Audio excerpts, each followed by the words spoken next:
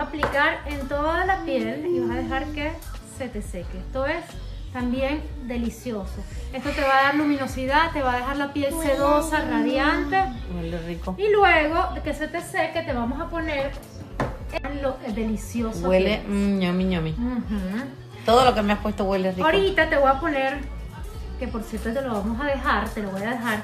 Esto es un serum de vitamina C que te vas a poner todas las noches. Mira.